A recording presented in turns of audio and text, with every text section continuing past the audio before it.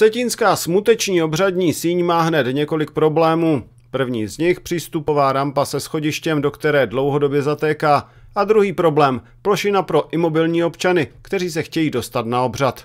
My jsme v poslední měsících obdrželi několik stížností na ten technický stav obřadní síně a pravdou je, že opravdu není uspokojivý.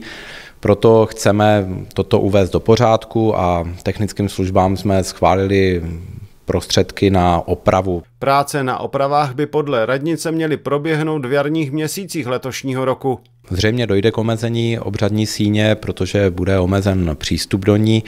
E, tam je domluvená potom spolupráce e, se sborem Českobratrské církve evangelické, kdy smuteční obřady by měly dočasně tedy probíhat v kostele, který je vedle, vedle hřbitova. To, na kolik peněz oprava smuteční obřadní síně přijde městskou kasu, zatím není úplně jasné. Známý je zatím totiž jen odhad rozpočtu podle projektantů.